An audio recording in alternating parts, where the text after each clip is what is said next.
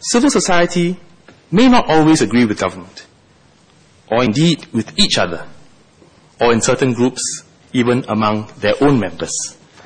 This is the nature of ground-up initiative.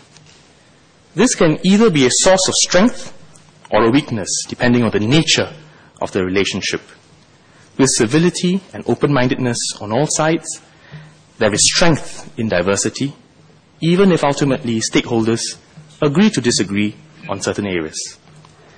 Government doesn't have a monopoly on all knowledge. In fact, it is well recognized that government decision-making can benefit greatly from wide and inclusive consultation on many fronts.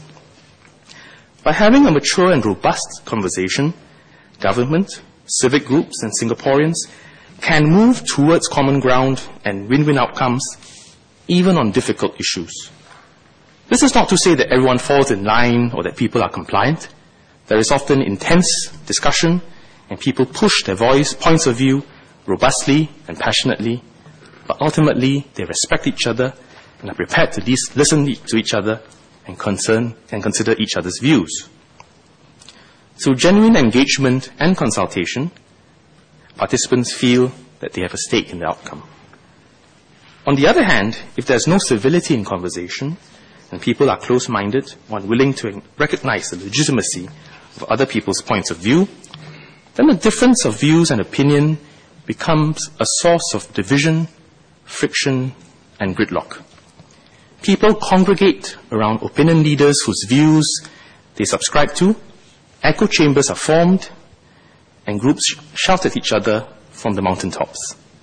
If a decision is made to move and break the gridlock, it may be perceived by some as unilateral, top-down, heavy-handed, or zero-sum.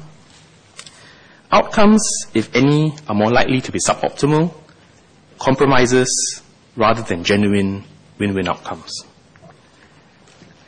There are many recent examples of government and civil society engaging more deeply and constructively on a range of issues. As a whole, we are feeling our way forward as society develops and matures to find the right balance for constructive debate and inclusive decision making.